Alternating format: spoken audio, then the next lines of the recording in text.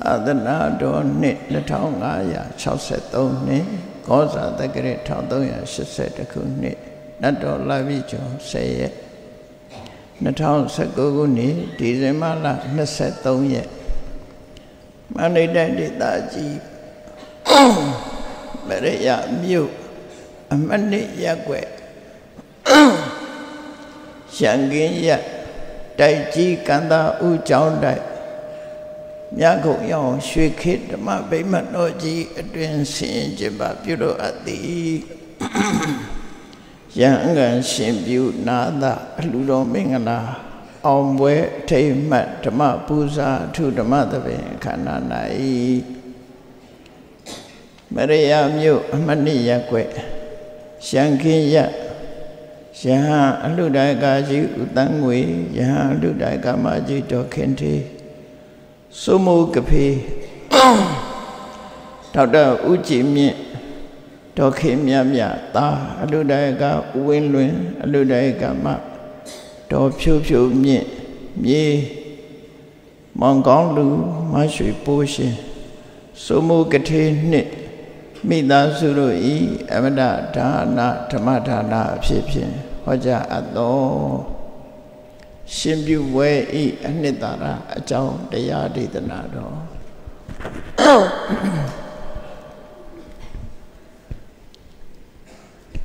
ဘုရားမြတ်စွာရဲ့အာသနာတော်မှာ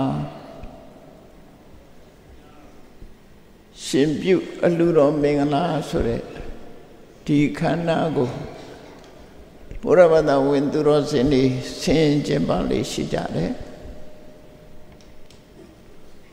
ရှင်ပြုပွဲရဲ့အနှစ်သာရကဘာလဲဆိုတာသိတဲ့ပုဂ္ဂိုလ်လည်းရှိမယ်မသိတဲ့ပုဂ္ဂိုလ်လည်းရှိမယ်အနှစ်သာရကိုရရှိဖို့မြည်သည့်လူဒနာပဲလူလူမူလရည်ရွယ်ချက်အတိုင်းအနှစ်သာရရရှိဖို့ရအဓိကကြတယ်ဆိုတာကိုမှတ်သားနိုင်ယူပြီးတော့ ရှမ်းကန်ရှင်ပြုလှူတော်မင်္ဂလာလှူတိုင်းလှူတိုင်းအနှစ်သာရပြည့်ပြည့်ဝဝရရှိအောင်ကြိုးစားနိုင်ကြလိမ့်မယ်လို့မြတ်စွာဘုရားရဲ့အဆုံးအမတော်နဲ့အညီမှတ်သားနိုင်ယူကြည့်ကြဖို့ပါဘုရားရဲ့အဆုံးအမတွေဟာ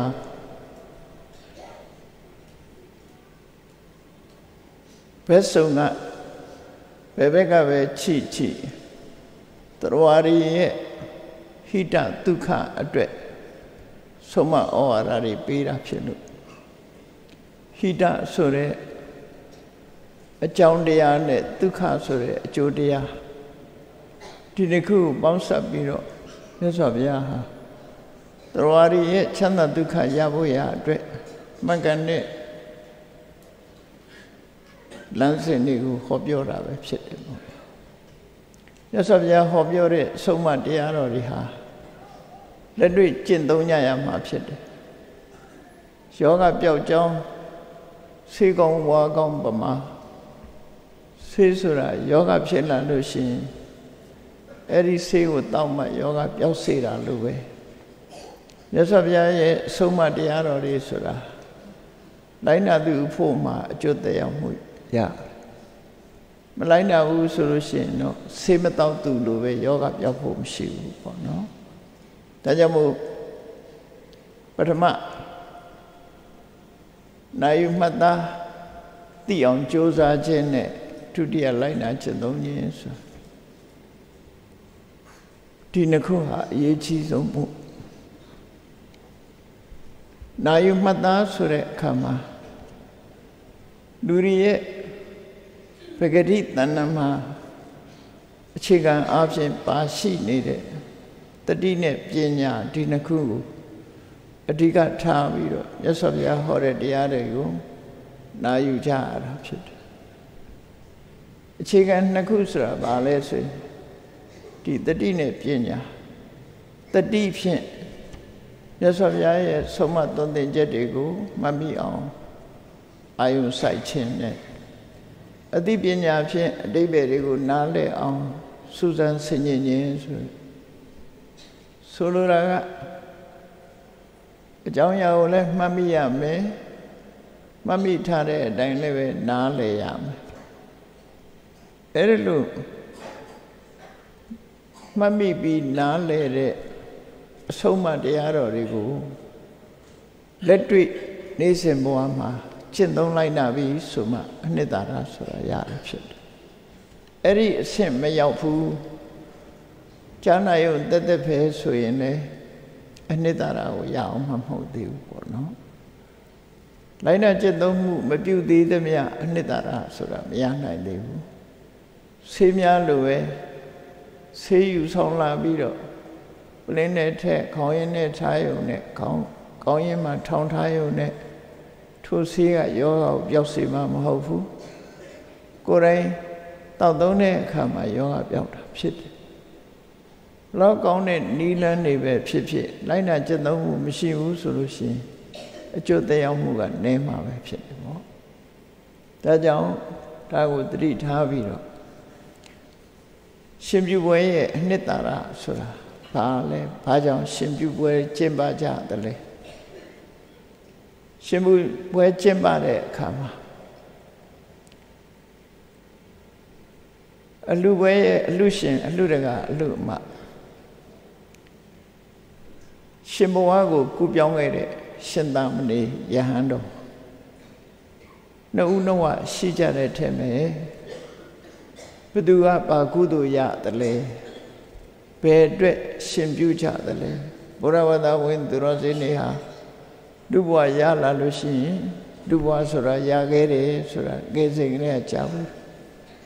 လူဘဝရခဲ့တယ်လို့ပဲရှင်ယဟန်ဘဝဟာလည်းပဲရခဲ့တယ်ဆိုပြီးလူဘဝရလာလို့ရှိရင်တစ်ချိန်တစ်ခါပဲဖြစ်စေရှင်ယဟန်ဘဝရရှိဖို့အောင်တော့ကြိုးစားအထောက်ကြတယ်ပေါ့ဒီရွယ်ချက်နဲ့ကြိုးစားအထောက်တယ်ရဘူးချင်တာဘာကြောင့်လဲလို့ စဉ်းစားဖို့တော့လိုတယ်ပေါ့ရှင်ဘဝရလို့ရှင်ဘယ်လိုကြိုးကျေးဇူးရှိတယ်လဲဘာရွယ်ချက်နဲ့ရှင်ဘဝရအောင်ကြိုးစားသင့်တယ်လေရွယ်ချက်ကဘာလဲအနှစ်သာရကဘာလဲဆိုသိဖို့လို့အလူတကအလူမတွေကထိုမျိုးကောင်းသားရှင်ရဟန်းဖြစ်သူရောက်အောင်လူတန်းပေးကပ်မှုဆိုတာဒါနကောင်းမှုလုပ်တာပဲဖြစ်တယ် လူချင်းတန်းချင်းဖြင့်ဒါနကောင်းမှုရသာသနာ့ဘဝဝင်ရောက်တဲ့ပုဂ္ဂိုလ်တွေကြတော့ဒီရမကချီးမွမ်းလှတဲ့ရည်ရွယ်ချက်တွေနဲ့ကိုယ်တဏ္ဍာမှာတန်ဖိုးမဖြတ်နိုင်တဲ့အသိဉာဏ်တွေရဖို့ဆိုတာအထူးကကြတယ်ပေါ့နော်ရှေးသူတော်ကောင်းတွေဟာဘာဖြစ်လို့ရှင်ယဟန်ဖြစ်ကိုရယူကြသလဲဆိုတာမြတ်စွာဘုရားက ထို့ထို့သုတ်တန်တွေမှာဟောထားတာချီလောကမှာဖះဆိုတာပွင့်လာတယ်ဖះကပမာစကားအနေနဲ့ဖះလို့ခေါ်တယ်ပါဠိလိုကျတော့ဗုဒ္ဓပေါ့တထာဂတလို့လည်းခေါ်တယ်တထာဂတဆိုတာမင်္ဂနစ်တရားကိုဟောပြောရတယ်သို့မဟုတ်မင်္ဂနစ်လမ်းကြောင်းကနေဖြစ်ပေါ်လာခဲ့တဲ့ပုဂ္ဂိုလ် အဲ့ဒီလိုလောကမှာဖះဆိုတာပွင့်ပေါ်လာတယ်ဖះရဲ့အကြီးချင်းတွေကတော့ဘုရားဘာသာဝင် သူတော်တွေသိသူတော်စင်တွေသိတဲ့အတိုင်းဂုဏ်တော်၉ပါးဖះအကြီးချင်းတွေအဲ့ဒီဂုဏ်တော်၉ပါးနဲ့ပြည့်စုံတဲ့ပုဂ္ဂိုလ်မှဖះဆိုတာအစစ်မှန်ဖြစ်တယ်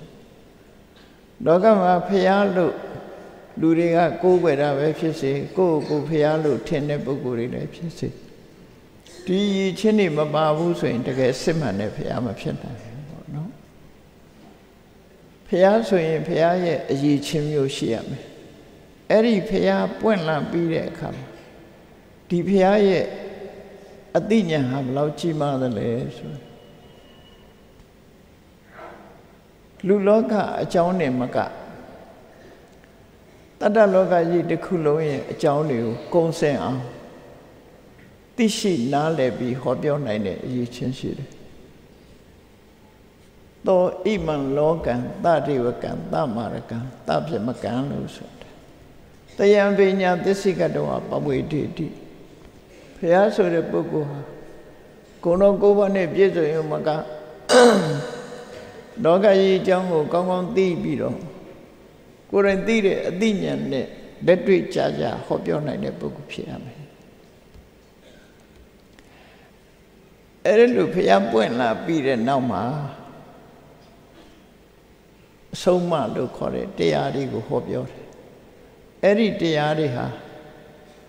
လိုက်နာကျင့်သုံးတဲ့ပုဂ္ဂိုလ်တွေဖို့အစမှလည်းကောင်းတယ်အလယ်မှလည်းကောင်းတယ်အဆုံးမှလည်းကောင်းတယ်စကလုံးအားဖြင့်လည်းပြည့်စုံတယ်အ내ဒိဗ္ဗေနဲ့လည်းပြည့်စုံတယ်အဲ့ဒီတရားဓမ္မဟာစစ်မှန်တဲ့ မြတ်သောအကျင့်ကိုဖော်ထုတ်တဲ့တရားဓမ္မကြားနာယုံတသက်မြမဟုတ်အဆုံးမတသက်မြမဟုတ်လူတိုင်းလူတိုင်းဟာလက်တွေ့လုပ်ပြီးတော့ကောင်းကျိုးချမ်းသာရနိုင်တဲ့တရားမျိုးကိုမြတ်စွာဘုရားဟောတယ်ဒါလောကကြီးမှာဘုရားပွင့်ရင်တရားတွေဟောတယ်ဟောတဲ့အခါမှာ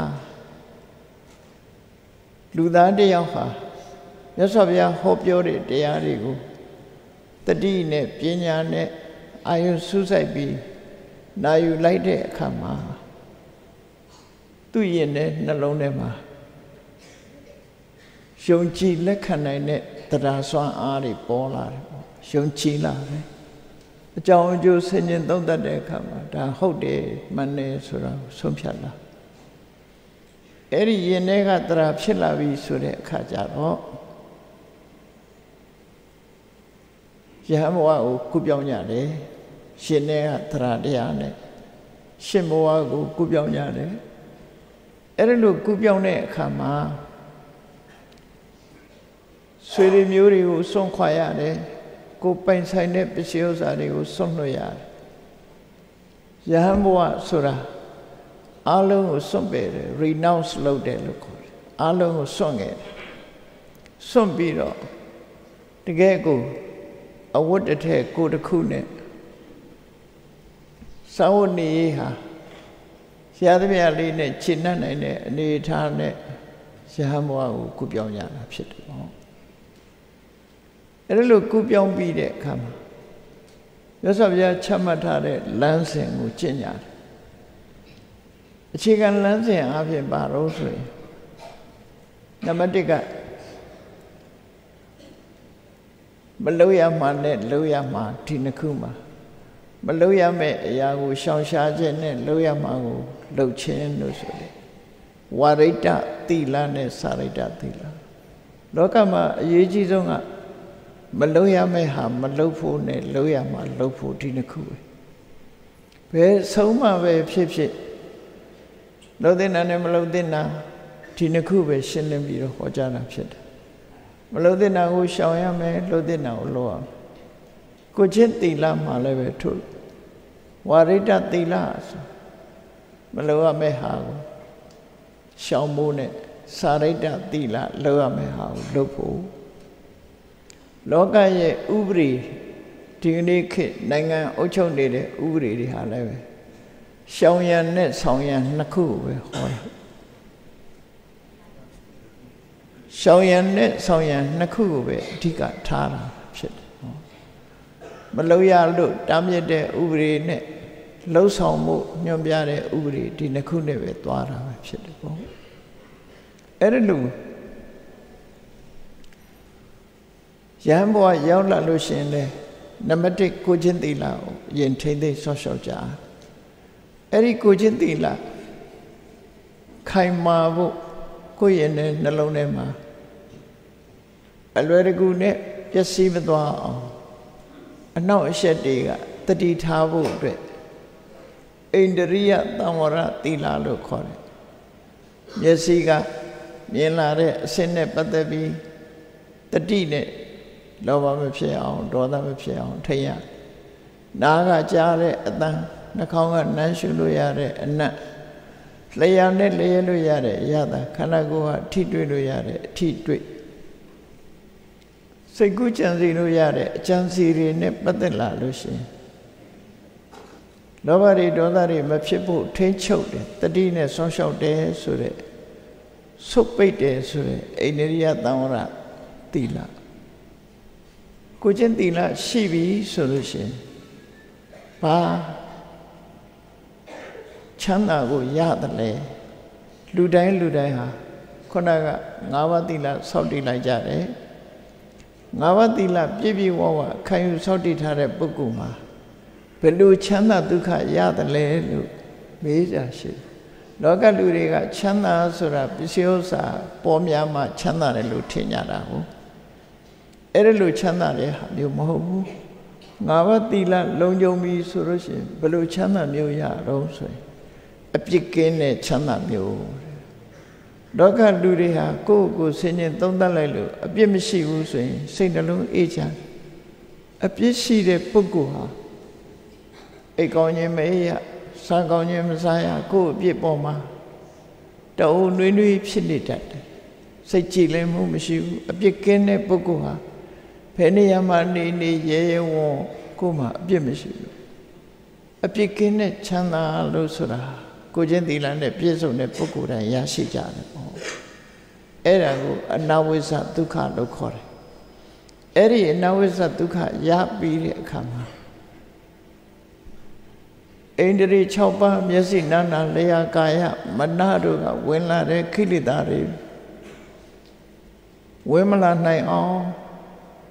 တတိနဲ့လုံလုံချုံချုံထိမ့်သိမ့်လိုက်နိုင်ပြီဆိုလို့ရှိရင်အဖျာတိကဒုက္ခလို့ခေါ်တဲ့ ချမ်းသာဒုက္ခစစ်စစ်ရှင်တဲ့နှလုံးထဲမှာအဆိုးတွေရောရွှက်မလာတဲ့ချမ်းသာဒုက္ခမျိုးကိုရရှိတယ်။တနည်းအားဖြင့်ပြောမယ်ဆိုရင်အဲ့ဒီချမ်းသာဒုက္ခမှာလောင်းဆွက်เสียမလိုဘူးထဲ့ပိုးเสียမလိုတော့အောင်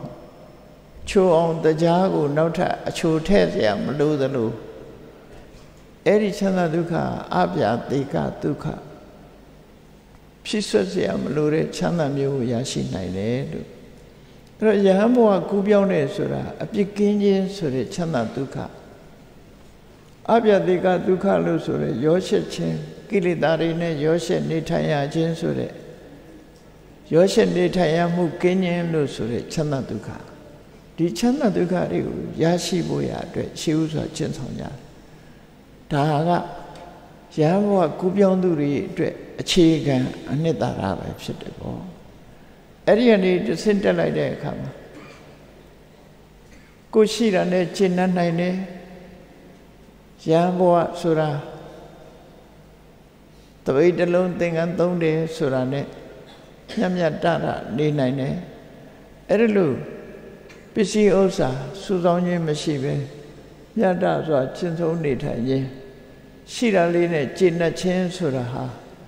အလွန်ပေါ့ပါတဲ့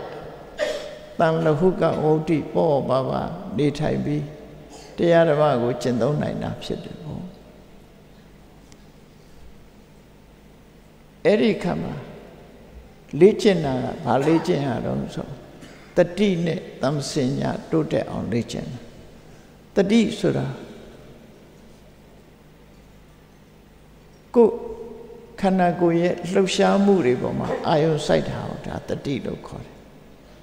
အဲ့ဒီတတိနဲ့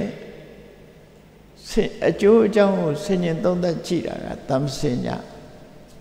အကျိုးရှိမရှိသိတာကသံစင်ညာအဲ့ဒီတတိနဲ့ပညာနှစ်ခုတတိနဲ့သံစင်ညာနှစ်ခုနဲ့ကိုယ့်ရဲ့တတိပညာတိုးတက်အောင်ဒီအခြေခံတတိပညာကိုသုံးချပြီးတော့ ကြိုးစားလိုက်လို့ရှိရင်ကိုယ့်ရဲ့လှုပ်ရှားမှုတွေနဲ့ပတ်သက်လာလို့ရှိရင်အလုံးဟာတတိနဲ့နေတယ်အသိပညာနဲ့နေတယ်ဆိုအမှားအယွင်းမရှိအောင်တွေးတောတဲ့အခါမှာလည်းအမှားအယွင်းမရှိဘူးပြောဆိုတဲ့အခါမှာလည်းအမှားအယွင်းမရှိဘူးပြုလုပ်တဲ့အခါမှာလည်းအမှားအယွင်းမရှိဘူးလူဘဝမှာအပြစ်ကင်းစင်တဲ့အနေအထားမျိုးကိုရရှိသွားတယ် အဲ့ဒါရဟန်းဘဝအခြေခံအနေနဲ့ဒါကိုကျင့်တာအဲ့ဒီမဲ့အရေးကြီးတာဘာတစ်ခုလုံးဆိုရင်ဘောဇနိမတ္တညုတာဆိုအစာအာဟာရနဲ့ပတ်သက်လာတဲ့အခါမှာစားတဲ့အတိုင်းတာစားတဲ့ကိုယ်နဲ့တင်းလျော်တဲ့အစာအစာတင်းလျော်တဲ့အစာအစာမှာလည်းပဲစားနိုင်စားတဲ့အတိုင်းတာဆိုအဲ့ဒီအတိုင်းတာတစ်ခုစား စားခြင်းအပြင်အစာအာဟာရနဲ့ပတ်သက်ပြီးတော့ယောဂဝေဒနာတွေကင်းရှင်းလာကင်းရှင်းလာလို့ကျမ်းအမှုကိုအခြေခံပြီးတော့ထိတဲ့တိုးတက်ပြီးတရားဓမ္မတွေကျင့်ကြံကြုတ်ကိုအထောက်ဒီကနေ့ခေတ်လူတွေကြည့်မယ်ဆိုလို့ရှိရင်စားတဲ့နာတဲ့ပူစားနေကြသည့်အတွက်ကြောင့်အသက်ရွယ်လေးရလာလို့ရှိရင်ဗိုက်ကြီးကပူလာတယ်နော်ဟိုကဖောင်းလာဒီကဖောင်းလာတယ်ဖြစ်တယ် အဲ့ဒါစားတဲ့နာတဲ့ပူစားလို့ဖြစ်တယ်သူ့အတိုင်းတာလေးတစ်ခုနဲ့စားမယ်ဆိုလို့ရှိရင်ခန္ဓာကိုယ်ထဲမှာအပိုးတွေဒီလိုအစီပိုးတွေမဖြစ်နိုင်ဘူးပေါ့။ကျမယေရှုတော်ကကြည့်မယ်ဆိုလို့ရှိရင်လည်းမြတ်စွာဘုရားရဲ့အဆုံးအတိုင်းလိုက်နာမယ်ဆိုရင်ယောဂကင်းစင်ပြီးတော့ကိုယ်ဘဝမှာအကျိုးရှိတဲ့အရာတွေကိုလုပ်နိုင်တယ်ပေါ့။အဲ့ဒါဟာအခြေခံအားဖြင့် ယဟန်ဘဝကိုပြောင်းသူတို့ရဲ့အနှစ်သာရဒါအပြည့်အဝမဟုတ်သေးဘူးအဲ့နောက်မှကြတော့ကိုယ်ရင်ထဲနှလုံးထဲမှာရှိတဲ့အညစ်အကြေးတွေကိုတန်ဆင်စေကြောနိဝရဏဆိုတဲ့အညစ်အကြေးတွေကာမဂုဏ်အာယုံခံစားခြင်းနဲ့ဆန္ဒတွေလောဘတွေ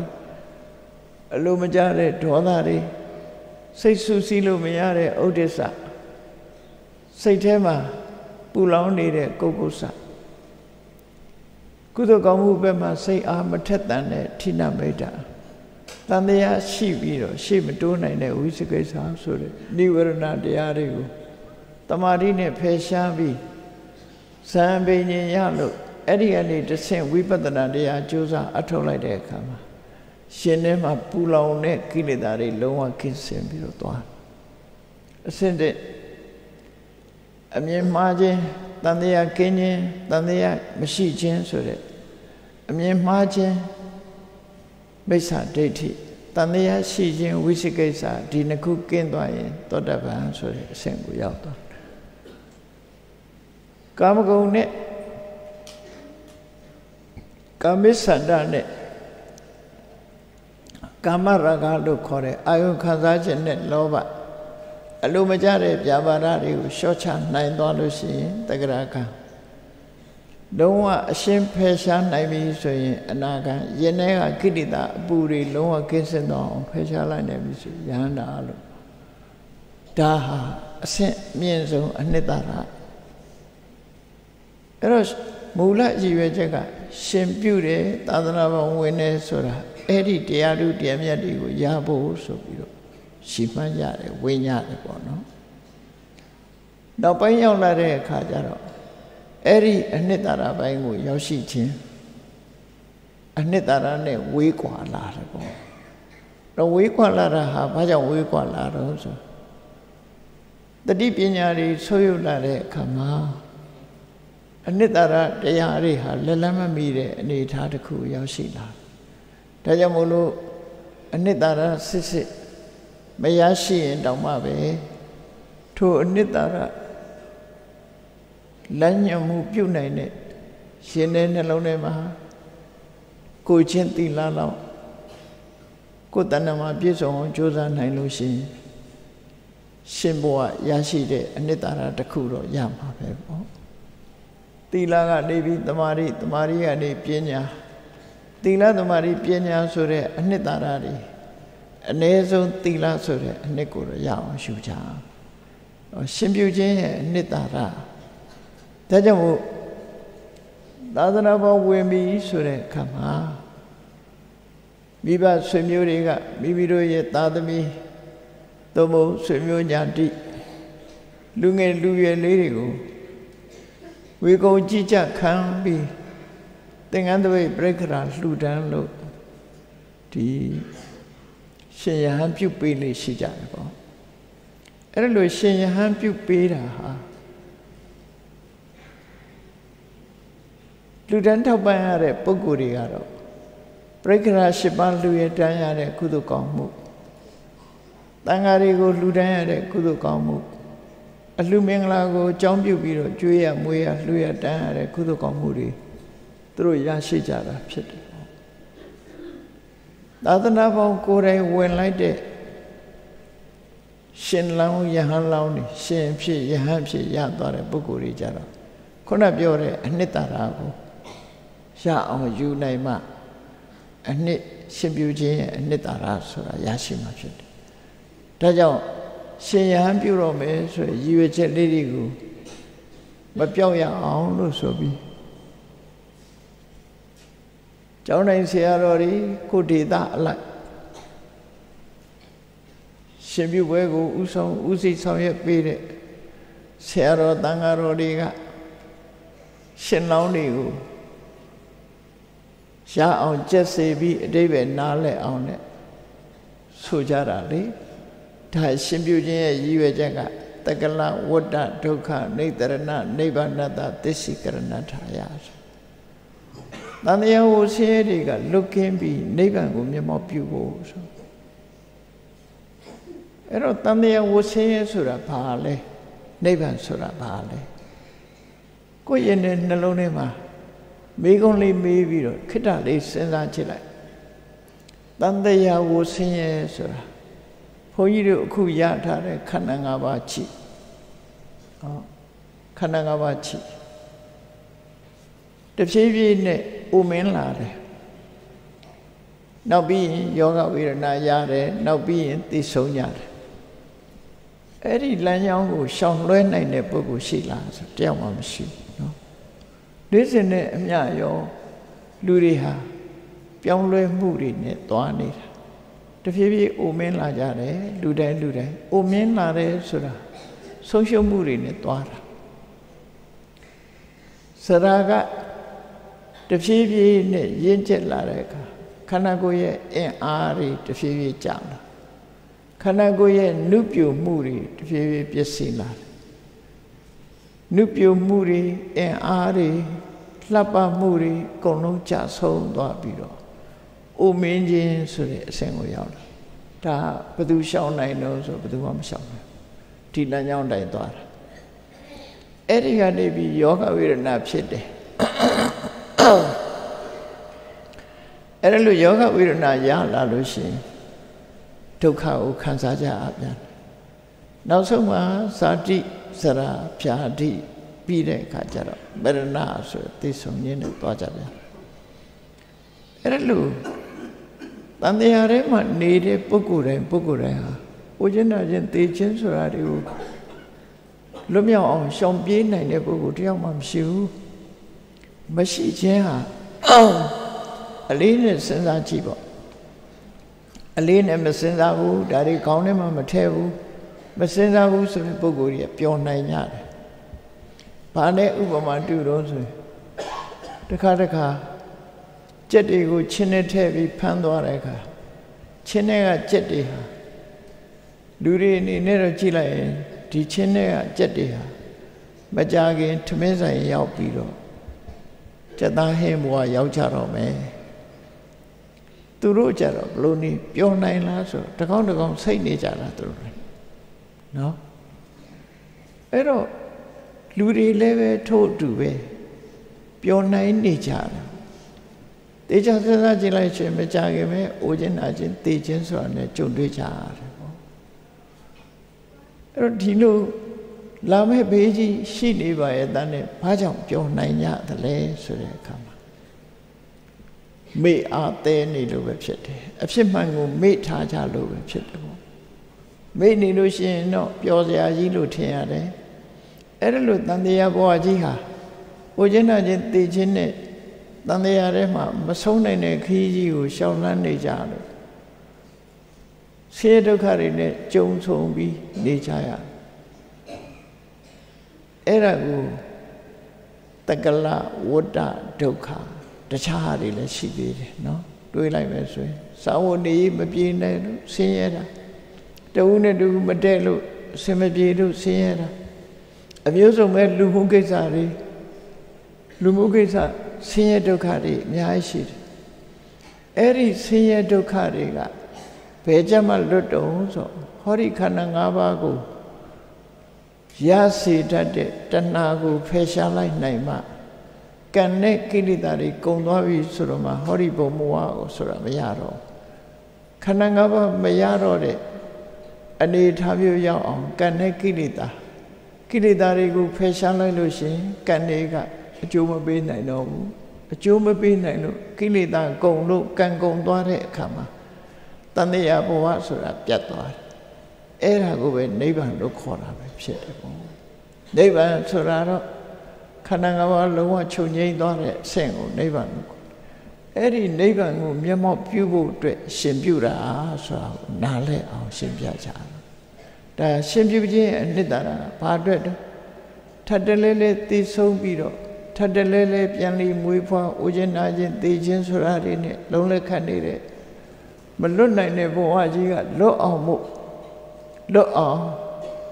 ဦးခြင်းနာခြင်းသိခြင်းမရှိတဲ့နိဗ္ဗာန်ကိုမျက်မှောက်ပြုဖို့ဆိုတဲ့ရည်ရွယ်ချက်နဲ့သင်္ကန်းဝတ်ကြတယ်အဲ့ဒါမှန်ကန်တဲ့ရည်ရွယ်ချက်ပဲဆိုတာကိုဖော်ပြပေးတာဟောလူတဲ့တန်းတဲ့ပုဂ္ဂိုလ်ကလည်းပဲနိဗ္ဗာန်ကိုဥတည်ပြီးတော့လှူကြတာအဲ့တော့အနှစ်သာရလို့ဆိုတာဟာနိဗ္ဗာန်ကိုအာယုံပြုပြီးတော့လုံးလိုက်ရတဲ့ကုသိုလ်ကောင်းမှုဟာနိဗ္ဗာန်တရားကိုအကျိုးပေးတယ်အဲ့ဒီအနှစ်သာရ မင်္ဂနဲ့ရည်ရွယ်ချက်နဲ့ယဟန်ဘုရားရှင်ဘုရားကိုရောက်ရှိသွားပြီသီလကစပြီးတော့ကျင့်သုံးနေထိုင်ကြရတယ်အဲ့တော့ရှင်ပြုတယ်ဆိုတဲ့နေရာမှာအဆင့်၃မျိုးရှိတယ်ပေါ့ရှင်သာမဏေလေးတွေရှင်ပြုရတယ်ဆိုတဲ့ကံဘုရားဘာသာဝင်သူတော်စင်တို့ရဲ့ရှင်ပြုပွဲတခြားဘာသာတွေရှင်ပြုပွဲလည်းရှိကောင်းရှိမယ်ဘုရားဘာသာရဲ့ရှင်ပြုခြင်းကတော့ဘာလို့ဆိုရင်နံပါတ်1 ကရုံရိဋ္ဌာ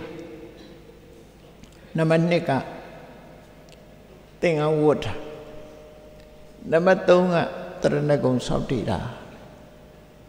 ဆန်းချခြင်းသင်္ကန်းဝတ်ခြင်းတရဏဂုံစောင့်တည်ခြင်းဟောဒီအင်္ဂါ၃ချက်နဲ့ရှင်ဘဝကိုကူးကြတာဒါကအသွင်ယူတဲ့အဆင့်လှုပ်ဆောင်ရမှာဘာတော့ဆိုရင် အိဘိကုခေါ်တဲ့အချိန်မှာမြတ်စွာဘုရားကစရပြမစရိယံတမ္မာဒုက္ခတအန္တကိရိယာယတာဝန်ပေးတာကဘာတော့ဆိုဆင်းရဲဒုက္ခအဆုံးသတ်နိုင်မှုအတွက်မင်္ဂနဲ့နီလန်းနဲ့မြတ်သောအကျင့်ကိုကျင့်ရမယ်ဒါဖြင့်မြတ်သောအကျင့်ကဘာတွေတုံးဆိုရင်ခုနကရှောင်ရံဆောင်ရံဖြစ်တဲ့သီလအကျင့်တွေကိုကျင့်ရမယ်လို့ဆိုလို့ သီလအကျင့်ပြီးရင်တမာတိတမာတိအကျင့်ပြီးရင်ပညာဆိုပြီးအဲ့ဒီသီလတမာတိပညာဆိုတဲ့အနှစ်သာရရရှိမှရှင်ပြုဝဲရဲ့အနှစ်သာရဆိုတာဖြစ်တယ်အဲ့ဒီအနှစ်သာရမရလိုက်ဘူးဆိုလို့ရှိရင်တော့လူမှုတမ်းမှုကုသိုလ်လောက်ပဲဆုံးသက်သွားမှာပဲဖြစ်တယ်ပေါ့နော်အဲ့တော့သာသနာ့ဘဝဝင်တဲ့ပုဂ္ဂိုလ်ကိုယ်တိုင်ကိုယ်ကလည်းသီလသမာဓိပညာဆိုတဲ့အနှစ်သာရကိုရအောင် ရှုနိုင်ဖို့အလေးနဲ့ထားပြီးတော့ရှင်ပြုခြင်းရဲ့အနှစ်သာရကိုသိရှိနားလည်ပြီးဒါဟာအနှစ်သာရရရှိအောင်တို့တွေကြိုးစားအထောက်အမှာဖြစ်တယ်အကယ်၍အဲ့လိုမလုပ်ဘူးဆိုလို့ရှိရင်တာမန်ကုသိုလ်မျိုးပဲရရှိသွားပြီးတော့အနှစ်သာရကလက်လွတ်ဆုံးရှုံးသွားနိုင်သေးတယ်ပေါ့ဘုရားဘာသာရှင်ပြုခြင်းရဲ့အနှစ်သာရသည်သီလသမာဓိပညာကိုခံယူခြင်းပဲဖြစ်တယ် အဲ့ဒါကိုပဲမြတ်စွာဘုရားဓမ္မထာယတာတရားအမွေကိုခံယူခြင်းဒါတော့ယဟုလာလေးကမြတ်စွာဘုရားနဲ့သူမွေးဖွားပြီးဘုရားကဘုရားလောက်ကတောထွက်သွားတာတောထဲမှာ6နှစ်တရားကျင့်တယ်ဘုရားဖြစ်ပြီးတော့တစ်နှစ်လှည့်လေတရားဟောတယ်ပြီးတဲ့အခါ9နှစ်မြောက်မှတိုင်းတော်ပြည်တော်ကိုပြန်လာတယ် အဲ့တော့သားတော်ရဟုလာရဲ့အသက်က9နှစ်ဖြစ်သွားပြီပေါ့နော်9နှစ်သားအရွယ်ပထမဆုံးသူ့ရဲ့ဖခင်အရင်ဖြစ်တဲ့မြတ်စွာဘုရားနဲ့တွေ့တွေ့တဲ့အခါမှာမြတ်စွာဘုရားရဲ့သင်္ကန်းကိုဆွဲပြီးနောက်ကနေဒုက္ခတေသမယနဆာယာကလေးပြီမဲ့ပြောတတ်တယ် သူ့အဖေရဲ့အရေးမြတ်စွာဘုရားကိုတမနာယဟန်လို့ဆိုတဲ့အသုံးနဲ့ခေါ်ပြီးတော့အရှင်ဘုရားရဲ့အရေးကအေးမြလှပါတယ်ကလေးနဲ့မလိုက်အောင်အရှင်ဘုရားအရေးကအေးမြလှပါတယ်လို့ပြောပြီးဒါယိသံမေတမနာဒေဟိသူ့ကိုအမွေပေးပါလို့တောင်းမွေတောင်းတာတော့မေတော်ဖြစ်တဲ့ယ ရသောတရာမိဖုရားကသင်ပေးလိုက်လို့အမွေလိုက်တောင်းတာအဲ့ဒီအချိန်မှာမြတ်စွာဘုရားကကလေးငယ်လေးကိုကြောက်ထီအောင်ခေါ်သွားတယ်နေရလို့မပြောဘူးမြို့ရဲနဲ့ကြောင်းနဲ့ကအတော်လေးလှမ်းနေပေါ့မြတ်စွာဘုရားရဲ့သင်္ကန်းလေးဆွဲပြီးခုနှစ်နှစ်သားလေးဟာကြောင်းထီပါသွားတယ်ကျောင်းမှာလည်းပဲဒီစကားကိုပဲပြောတယ်ဒါယေသံမေသမနာဒေဟိ သူ့ကိုအမွေပေးပါလို့အဲ့တော့မြတ်စွာဘုရားကစဉ်းစားတယ်ရာဟုလငါ့ကိုတောင်းနေတဲ့အမွေကဖះလောင်းတောထွက်သွားတဲ့အချိန်မှာရွှေအိုးကြီးလေးလုံးကပျောက်ကျန်သွားတယ်ဖះလောင်းရဲ့ကုသကောင်းမှုကြောင့်ဖြစ်တဲ့ရွှေအိုးကြီးလေးလုံးဟာတောထွက်သွားတဲ့အခါမှာဘယ်နေရာရောက်သွားတယ်ဆိုတာမသိဘူးပေါ့နော်။ကွယ်ပသွားတယ်အဲ့ဒီလောကီအမွေကိုသူပေးဖို့တောင်းတာဖြစ်တယ် မြတ်စွာဘုရားကသိတယ်စဉ်းစားတယ်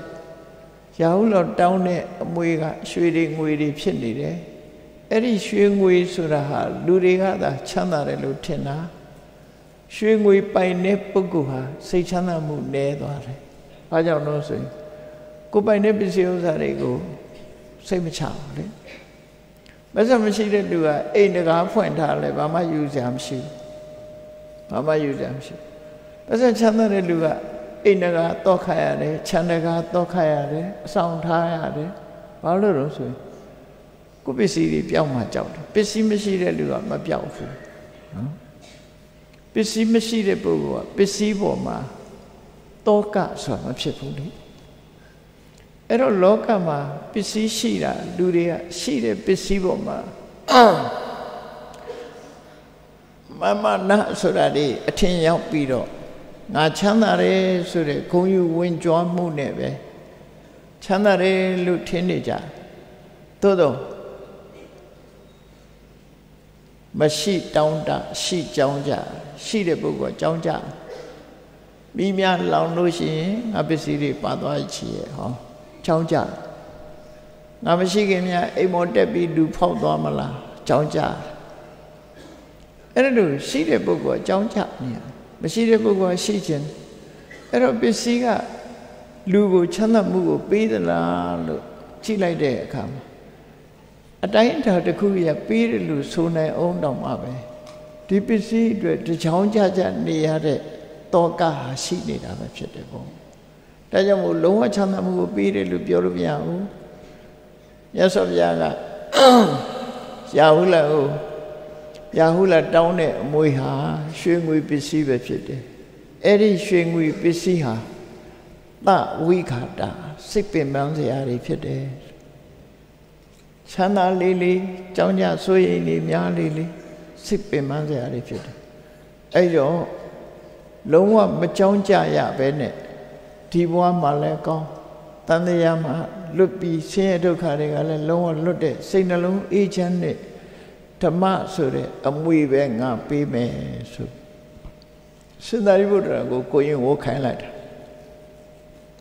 ရှင်ပြုခိုင်းလိုက်တယ်အဲ့ဒါရှင်ပြုခြင်းအနှစ်သာရပဲเนาะဘာမွေတွေမြတ်စွာဘုရားပေးတာတော့ဆိုရာဟုလာဆိုတဲ့သားတော်လေးရဲ့ရင်ထဲမှာကံကံဤအကျိုးကိုလက်ခံတဲ့တဒါဆိုတဲ့အမွေကိုရရှိစေတယ်တဒါဆိုတဲ့ပစ္စည်းဥစ္စာ လောကမှာလူတွေကသတ်မှတ်တာ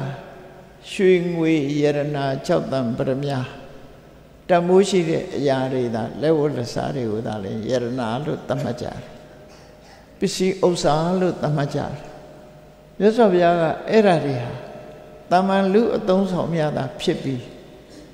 ဒါတွေကချမ်းသာမှုကိုပြေဝမပေးနိုင်ဘူးသူတို့ရဲ့အကန့်အသတ်ကလည်းရှိတယ် မသေးခင်လေးပဲပိုင်ဆိုင်မှုရှိတာဒါတောင်မှပဲမတရားလူယူခိုးရဲ့ခိုးယူတိုက်ခိုက်သွားလို့ရှိရင်ကိုပစ္စည်းပါသွားသေးတယ်မီးလောင်လို့ရှိရင်လည်းပါသွားနိုင်တယ်ရေမျိုးရင်လည်းပါသွားနိုင်တယ်မင်းဆိုရာဇာတွေကသိရင်လည်းပါသွားတယ်သားဆိုသမီးဆိုတွေကဖြုံးလို့ရှိရင်လည်းကုန်သွားနိုင်တယ်အဲ့တော့ဒီပစ္စည်းဥစ္စာတွေဆိုတာအချိန်မီပျက်စီးသွားတယ်နောက်ဆုံးမှာ ဘဝတစ်ခုကိုအဆုံးသတ်ပြီဆိုရင်ဘလောက်ပဲပင်ပင်ပန်းပန်းရှာထားတဲ့ပစ္စည်းပဲဖြစ်ဖြစ်အလုံးထားပစ်ခဲ့ရမယ်နော်အလုံးထားခဲ့ရဟန်းပြုတော့ကမှအဝတ်တထဲကိုတခုဆိုတာရှိသေးတယ်တည်သွားရင်တော့အဝတ်တထဲကိုတခုတောင်မှမရှိဘူးအလုံးထားခဲ့ရတာနော်အလုံးထားခဲ့ရတာယူသွားလို့မရဘူးအဲ့ဒါလို့ ပစ္စည်းဥစ္စာကိုပိုင်ဆိုင်ခြင်းဆိုတာမျက်စိနှလုံးမမိတ်ခင်လေးတင်ပိုင်ဆိုင်မှုတွေရှိတာယာဓုဂုံသိမ်စီစဉ်ဥစ္စာမှန်သမျှမျက်စိနှလုံးမမိတ်ခင်လေးတင်ပိုင်တာနောက်ဆုံးမှာလူတွေဟာခန္ဓာကိုယ်မှာအသက်ပြောက်သွားတာနဲ့တပြိုင်နက်ကိုဆောက်ထားတဲ့ကိုရှာထားတဲ့ပစ္စည်းတွေနဲ့ဆောက်ထားတဲ့အိမ်မော်တောင်မှပဲခုနှစ်ရက်ပြည့်အောင်နေလို့မရတော့တဲ့အနေထားမျိုးရောက်သွားထပ်ပစ်ခဲ့ရတယ်ဒီလိုဆိုလို့ပေါ့နော် အလုံးစွန့်ပစ်ခဲ့ရအဲ့ဒီလိုပစ္စည်းဥစ္စာရဲ့အနေအထားတွေကိုသူတော်စင်ပုဂ္ဂိုလ်တွေကတော့အဲ့ဒီရှုထောင့်ကနေကြည့်လိုက်တော့ဒီရွှေငွေရတနာပစ္စည်းဥစ္စာပိုင်ဆိုင်မှုတွေဟာတခဏပဲအသုံးကျတဲ့အရာတွေဖြစ်တယ်။တန်တရားမှာအသုံးကျတဲ့အရာကတော့ဒါတွေမဟုတ်ဘူးဆိုရှင်ထဲမှာဖြစ်ပေါ်လာတဲ့တထာရှင်ထဲမှာကုသကောင်းမှုပေါ်မှာစိတ်ဝင်စားတယ် စိတ်ဝင်စားလို့အလှူဒန်းလုပ်တယ်အလှူဒန်းလုပ်လို့ဘဝတန်တရားမှာချမ်းသာဒုက္ခရကြတယ်အေးတရားရှိလို့ကိုချင်းသီလာကိုလုံအောင်ထိမ့်သိမ့်တယ်ဖြစ်လျက်ဘဝမှာအသက်ရှိတယ်ကြမ်းပါတယ်တရားရှိလို့တရားဓမ္မကျင့်ကြံကြိုးပါအထုတ်တယ်ဇံရလို့ပြမပြည့်ရောက်တယ်ကဘာချီပြီးအသက်ရှိတယ်ဟော နိဗ္ဗာန်ချမ်းသာကိုလိုချင်လို့ဝိပဿနာတရားအထုတ်တယ်ဝိပဿနာအသိဉာဏ်ကနေတဆင့်တက်ဘယ်ဉာဏ်ဖို့ဉာဏ်ရတော့ယင်းထဲကကိလေသာတွေကုန်သွားတယ်နိဗ္ဗာန်ကိုမျက်မှောက်ပြုနိုင်တယ်ဆိုအဲ့တော့တရားဆိုတဲ့ဥစ္စာနိဗ္ဗာန်တရားပေးနိုင်တယ်လို့ဆို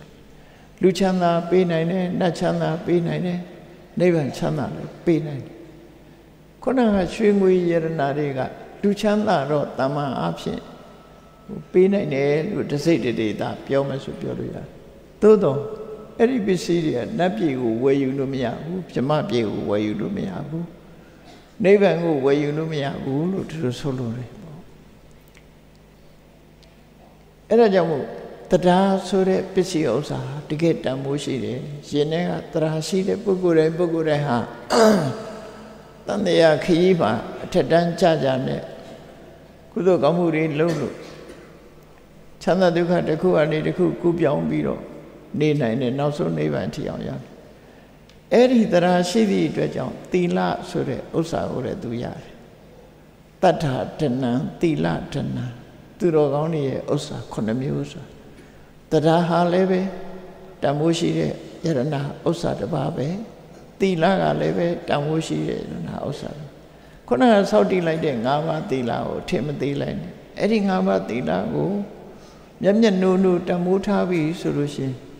လူဘဝရောက်ရှိနိုင်တယ်နတ်ဘဝကိုလည်းရောက်ရှိနိုင်တယ်လို့ဆိုလို့လူဘဝဘုန်းကြီးတို့တွေလူဘဝရလာတာအဲ့ဒီသီလရဲ့အစွမ်းနဲ့ရလာနတ်ပြည်ရောက်တဲ့ပုဂ္ဂိုလ်တွေလည်းသီလရဲ့အစွမ်းနဲ့ရလာကြဒါနနဲ့သီလ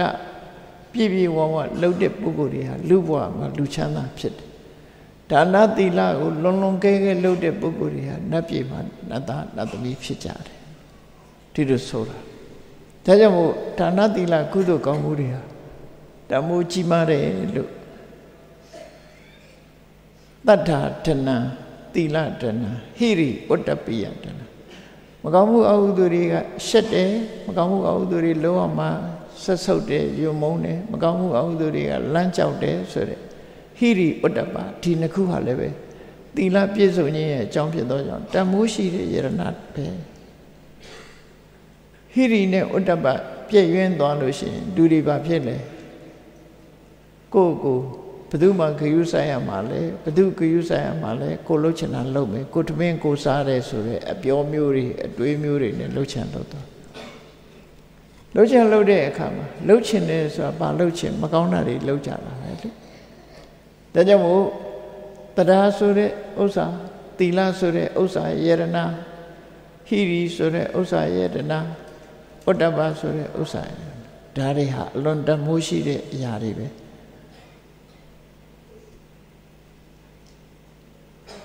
နောက်တစ်ခါဝီရိယကြိုးစားအထောက်မှု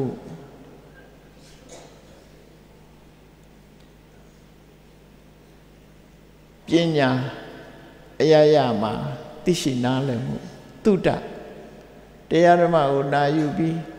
တမိုးရှိတဲ့အကြောင်းအရာတွေကိုမှတ်သားသိရှိနိုင်မှုဆိုဟောဒီဥစ္စာတွေဟာတမိုးမပြတ်တဲ့ဥစ္စာတွေသာဖြစ်တယ်အဲ့ဒီဥစ္စာတွေအတွက်ကြောင်းညဆက်ရတယ်ဆိုတာမရှိဘူးတုဒ္ဒဒနိစစာကောစပညာဝေတတ္တမန္တနာတုဒ္ဒတရားဓမ္မတွေနားတယ်မြတ်စွာဘုရားရဲ့အဆုံးအမတွေကို မှတ်သားတယ်နာယူတယ်သင်ယူတယ်တုဒ္ဒစာကလှူဒန်းတယ်ပေးကမ်းတယ်လှူဒန်းပေးကမ်းခြင်းကြောင့်လူတွေဟာဘဝတန်တရားမှာမတောင်းမတမကြောင်းမကြပစ္စည်းဥစ္စာနဲ့ပြည့်စုံကြတာဖြစ်တယ်။တမန်လူတွေကတော့တွေးလိုက်ပဲကိုယ့်အကူရှာလို့ရတယ်လို့ထင်ကြတယ်။ပစ္စည်းဥစ္စာဆိုတာကိုစူးစမ်းရှာလို့ရတာစူးစမ်းရှာလို့ရှာတိုင်းရကြလားဆိုမရဘူးလေ။ဖကန့်ပဲကြည့်ပေါ့။ မြေကြီးရဲရှာနေတဲ့လူတွေအများကြီးမရဘဲနဲ့မြေပို့လို့တည်သွားတဲ့လူတွေအများကြီးပဲတူတိုင်းရတာမဟုတ်ဘူးကံရှိမှရတာဖြစ်တယ်ပေါ့ဒါကြောင့်စာကဆိုတဲ့ဒီဥစ္စာဟာဘဝမှာချမ်းသာကြွယ်ဝဖို့အတွက်ဒီကုသိုလ်ကောင်းမှုရှိဖို့လိုတယ်နောက်ဆုံးအသိပညာတတ္ထာတိလဟိရိဥဒ္ဒပတုဒ္ဒစာကပညာလို့ခေါ်တယ် သူတော်ကောင်းဥစ္စာခုနှစ်ဖြာဒါကိုပဲသူတော်ကောင်းတွေကတကယ်ယရဏပစ္စည်းအဖြစ်အတိမပြုတာဖြစ်တယ်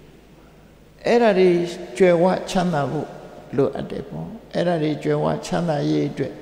မြတ်စွာဘုရားဟာတာရောယဟုလာလေးကိုကဲယဟုလာလူချင်တဲ့ဟာရွှေတွေငွေတွေရွှေတွေငွေတွေဆိုတဲ့ယရဏပစ္စည်းတွေဟာတောကကိုဖြစ်စေတတ်တယ်စိတ်ပင်ပန်းမှုကိုဖြစ်စေတတ်တယ် တောကနဲ့စိတ်ပင်ပန်းမှုမဖြစ်စေနိုင်တဲ့ပစ္စည်းဥစ္စာကတခြားမဟုတ်ဘူးခုပြောရတဲ့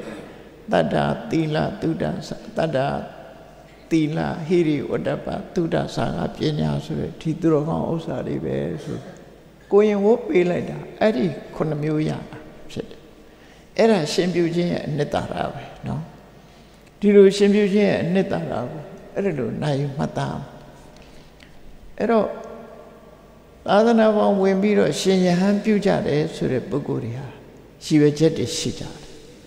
အဲ့ဒီရည်ရွယ်ချက်ကမှန်ကန်တဲ့ရည်ရွယ်ချက်အခုရှင်ရှင်ဘဝရောက်ကြတဲ့ပုဂ္ဂိုလ်တွေကတန်တရားဥက္ကလွတ်ဖို့နိဗ္ဗာန်ကိုမျက်မှောက်ပြုနိုင်ဖို့ဆိုတဲ့ရည်ရွယ်ချက်နဲ့ဓမ္မရှင်ပြုခြင်းအနှစ်သာရကိုရရှင်တကာရှင်မအလှတကာအလှမတွေကလည်းတို့လှူဒန်းလိုက်တဲ့သင်္ကန်းသပိတ်ပြိခရာကိုဝိယုံပြီး တန်တရားဥက္ကလွတ်မြောက်နိုင်ပါစေဆိုတဲ့မေတ္တာထားဖို့လိုတယ်ပေါ့ရှင်ပြုပေးတိုင်းပေးတိုင်းတို့လှူတဲ့တန်းနဲ့ဆွမ်းတို့လှူလိုက်တန်းလိုက်တဲ့သင်္ကန်းကိုဝိုးယုံပြီးဒီပုဂ္ဂိုလ်ဟာတန်တရားဝကနေလွတ်ကင်းအောင်ကျင့်ကျင့်ဆောင်နိုင်ပါစေဆိုရင်သူလည်းအနှစ်သာရရသွားအဲ့ဒါလိုမဟုတ်ဘဲနဲ့အလှဝဲကြီးငါတို့ကြီးကြဲကြဲကြီးလှူနိုင်တယ်ဆိုပြီးတော့ဂုံယူဖို့လောက် စိတ်ထဲမှာနှလုံးသွင်းမဲ့ဆိုရင်အနှစ်သာရရမှာမဟုတ်ဘူးနှစ်သာရညော့နေသွားနိုင်တယ်ဒါကြောင့်မို့ရှင်ပြုပြီးဆိုတဲ့အခါမှာအနှစ်သာရရအောင်ကြိုးစားဖို့လိုအပ်တယ်တကယ်ကိုဒီရှေးတုန်းကသာသနာ့ဘောင်ဝင်ပြီးတော့တရားဓမ္မကျင့်ကြံကြိုးကိုအထုတ်တဲ့ပုဂ္ဂိုလ်ရဲ့ရည်ရွယ်ချက်ကလေးကိုပိစိကဗုဒ္ဓ၅ပါး ပိစိကဗုဒ္ဓဖြစ်သွားတဲ့သူတော်စင်၅ဦးပြောပြတဲ့စကားလေးကိုမှတ်သားနိုင်ကြည့်သူတို့ဘာဖြစ်လို့ယဟန်အဖြစ်ပိစိကဗုဒ္ဓရှင်ယဟန်အဖြစ်ခံယူကြသလဲဆိုအဲ့ဒီမှာဗာရဏသီပြည်ပြမရမင်းကြီးရဲ့နန်းတော်ပိစိကဗုဒ္ဓ၅ပါးရောက်ရှိလာပိစိကဗုဒ္ဓ၅ပါးကို ဗာရဏသီဘုရင်ကြီးကပင့်ပြီးတော့နန်းတော်မှာဆွမ်းကတ်တယ်အဲဆွမ်းကတ်တဲ့အခါမှာစကားထက်သမီးပြောရင်ကနေပြီးတော့အရှင်ဘုရားတို့အခုလိုလူလောကကိုခွာရှောင်ပြီးတော့ရဟန်းဘဝကူးပြောင်းလာတာဘာရည်ရွယ်ချက်တွေနဲ့ကူးပြောင်းလာကြတာလဲငငယ်ရွယ်ရွယ်နဲ့ဘာကြောင့်သင်္ကန်းဝတ်ကြတာလဲဆိုတာကိုဘုရင်ကြီးကမေးတယ်အဲ့ဒီမေးတဲ့အခါမှာသူတို့ဖြေတဲ့အဖြေလေးတွေဟာအလွန်မှတ်သားစရာကောင်းတယ်နော် ပထမပိစိကဗုဒ္ဓကဘာပြောတော့ဆိုမိတ်တော်မိတ်တတပါဏိယံအထိဏံပရိဖုံစီတာတေနပစ္ဆာဝိသိကုစိန်တံပပံပကတံမယမာပုဏပကတံပါပံတတ္တမမာပုဏအကရံပါပံတတ္တမပပစီတောအဟံသူဘာဖြစ်လို့သင်္ကန်းဝတ်တယ်ဆိုတော့သူပြောပြသူဟာ တာမန်လူတယောက်ဘဝတုန်းကအလုံးလုံးတယ်အလုံးလုံးတဲ့အခါကျတော့ခုခေတ်တော့ရေတံဘူးဆောင်မှာပေါ့သူတို့ခေတ်ကတော့ဘူးဘူးလုံးကိုထွင်းထားတဲ့ရေဘူးလေးတွေလှုပ်လို့ရင်မောလို့ရှိရင်ရေတောက်ဖို့ရေကိုယူသွားကြတယ်ဘူးထဲမှာထည့်ပြီးအဲ့လိုလှုပ်လို့ရင်မောတဲ့အခါကျတော့တငယ်ချင်းနှစ်ယောက်နားရင်းကနေပြီဟိုတငယ်ချင်းတစ်ယောက်အလစ်မှာကြံတဲ့လူတစ်ယောက်က သူ့ဘူးထဲကရေကုန်မှာဆိုတော့တငယ်ချင်းရဲ့ဘူးထဲကရေကိုတောက်လိုက်တယ်သူနော်သူ့ဘူးထဲကရေမကုန်အောင်လို့သူများဘူးတဲ့ဟာကိုတိတ်တိတ်ခိုးတောက်တာခိုးတောက်တာဘာမှတန်ဖိုးမရှိပေမဲ့လို့စိတ်ကမယိုးသားဘူးပေါ့နော်သူဘူးတဲ့ရေကို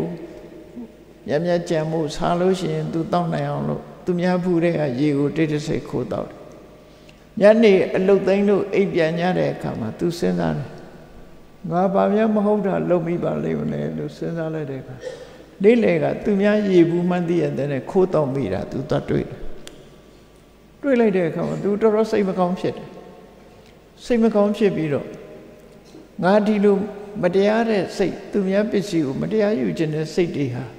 တိုးပွားလာမယ်ဆိုရင်ငါအပင်ငယ်ရောက်သွားနိုင်တယ်ဒီအကုသိုလ်လက်ခံလို့မဖြစ်ဘူး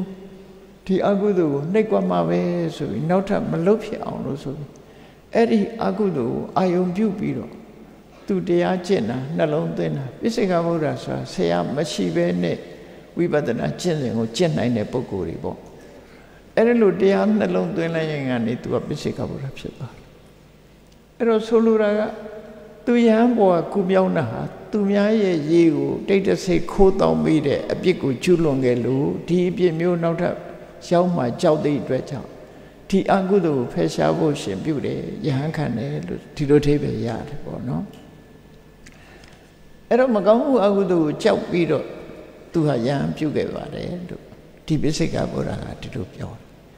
နောက်တစ်ခါဒုတိယပိစိကဗုဒ္ဓကတော့ဘာပြောတော့ဆိုပရဓာရင်စဒိဋ္ဌဝါနသံတော်မိဥဒပိစတာ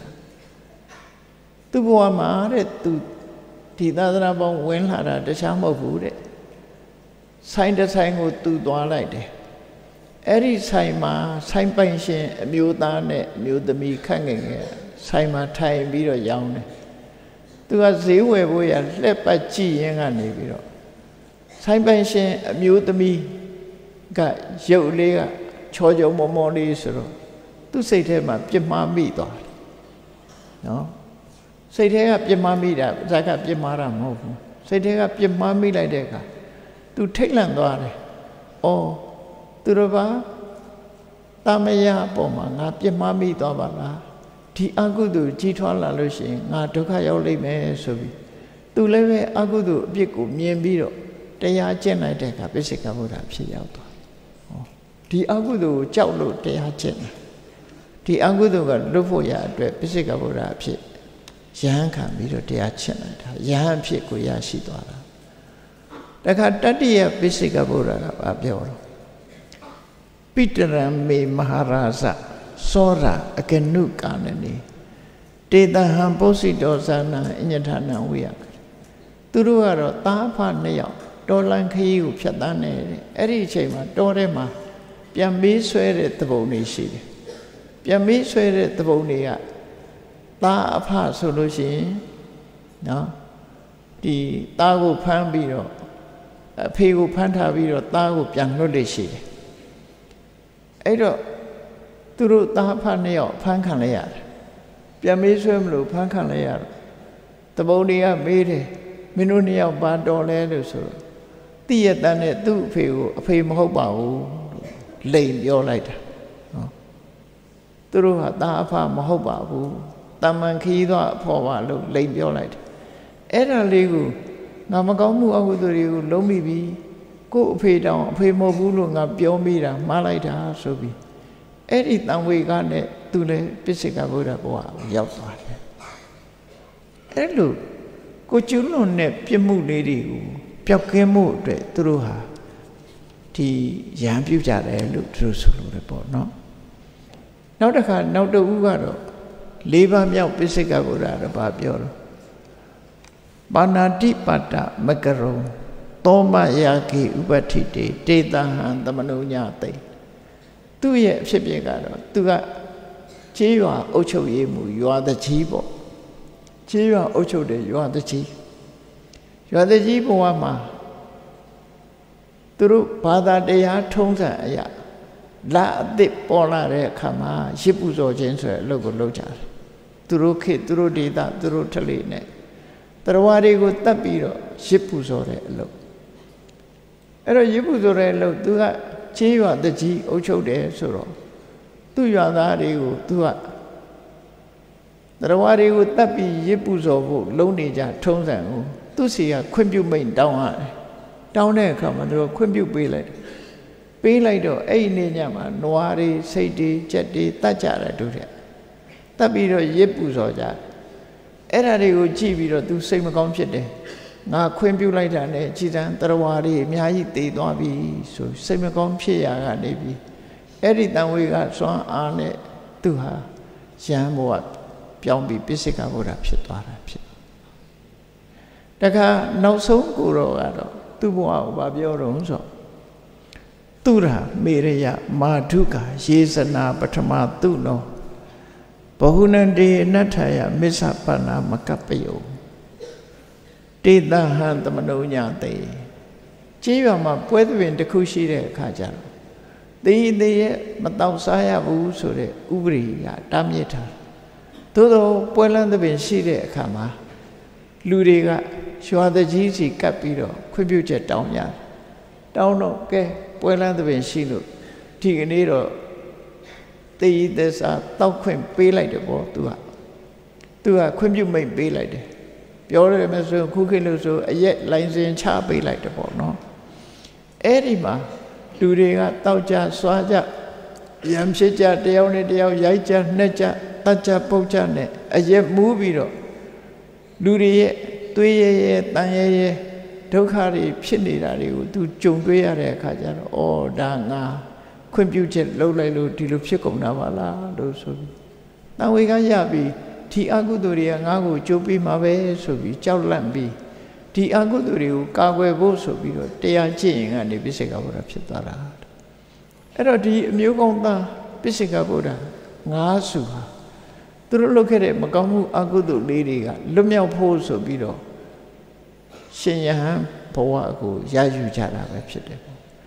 ဒါဟာရှင်ယဟန်ဖြစ်ခြင်းရဲ့အနှစ်သာရရှင်ပြုခြင်းယဟန်ခံခြင်းရဲ့အနှစ်သာရဆိုတာ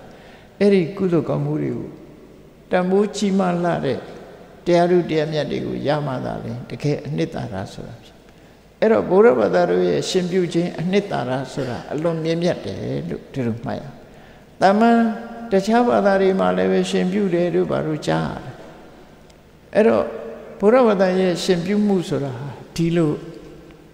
ရှင်တဲ့ကိလေသာတွေကိုရှင်တဲ့နှလုံးထဲမှာဖြစ်တဲ့အကုသိုလ်တရားတွေမဖြစ်ရအောင်ချိုးနှိမ်တဲ့အနေနဲ့အကုသိုလ်မဖြစ်ရအောင်ကျင့်ကြံကြိုးကုပ်အထုတ်ပြီးတကယ်တမိုးကြီးမားတဲ့တတ္တာသီလဟိရိဥဒ္ဒပတတိသံဃာပညာလို့ဆိုတဲ့တုဒ္ဒသံဃာပညာလို့ခေါ်တဲ့ဒီသူတော်ကောင်းဥစ္စာတွေရဖို့ရအတွက်ရှင်ပြုကြတာလို့ဆို အဲ့တော့ဘုရားဗတာတို့ရဲ့ရှင်ပြုမှုအနှစ်သာရဟာအဲ့ဒီမှာမှတကယ်အနှစ်သာရလို့ဆိုတာမှတ်ယူကြမှာဖြစ်တယ်။အေးရှင်ပြုခြင်းယဟန်ခံခြင်းသာသနာ့ဘောင်ဝင်ရောက်ခြင်းတုံလဘယဟန်အဖြစ်ခံယူခြင်းတုံလဘရှင်သာမဏေအဖြစ်ခံယူခြင်းတုံလဘသီလရှင်အဖြစ်ခံယူခြင်းဘယ်ဘဝဘလို့ပဲခံယူခံယူပိစိကဘုရားငါးစုတို့ရဲ့စိတ်နှလုံးသွင်းတာမျိုးလို့ မကောင်းမှုအကုသိုလ်တွေဒုကင်းအောင်လုပ်ဖို့ဆိုတဲ့ရည်ရွယ်ချက်ကိုအဓိကထားပြီးလုံးမအနှစ်သာရကိုရမှာဖြစ်တယ်အနှစ်သာရကိုမသိလို့ရှိရင်အနှစ်သာရမရနိုင်ဘူးဒါကြောင့်တရားချက်ခင်သူတော်စင်ပြိဿအပေါင်းတို့ဘုရားဗတာတို့ဆောင်ရွက်လုပ်ကံလေးရှိကြတဲ့ရှင်ပြုခြင်းရဲ့အနှစ်သာရဆိုဒီမှာသူတော်ကောင်းဥစ္စာခုနှစ်ပြမိမိတဏ္ဍာမှာဖြစ်ပွားအောင်ကြိုးစားအထောက်ခြင်းသာဖြစ်တယ်ဆိုတာကိုကိုစီကိုစီမှတ်သားနာယူပြီး အနိတ္တရာရရှိအောင်ဆောင်ရွက်လောက်ကင်နိုင်ကြပါစေကုန်သတည်း